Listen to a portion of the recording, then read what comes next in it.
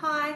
As well as being a fantastic cleaning cloth wet, our EnviroCloth is also a fantastic dust remover when it's dry. So I'm just going to experiment by cleaning a windowsill. Just a reminder, when you are cleaning, especially with the dusting if you've got a lot of dust, to fold your cloth in half and then in half again to give yourself eight cleaning surfaces. It really does make a difference. If you're finding that's too big, again, you can fold it like that, which is how I sometimes use it.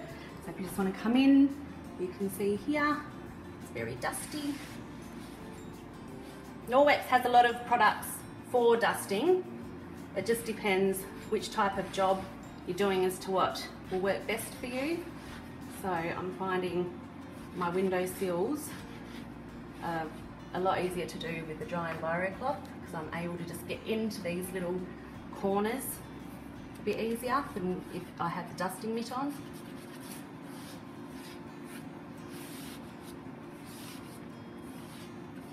There, I've just wiped all that off. You can see my cloth has gotten quite dusty. Now all I'm going to do is give it a brush with the rubber brush just to remove the surface dirt and just keep on using it. And then at the end of the day, I'll just give it a hand wash under some hot water with some of our Norwex dishwashing liquid and that will come up awesome. And then I'll just hang it out to dry and then I can use it again tomorrow.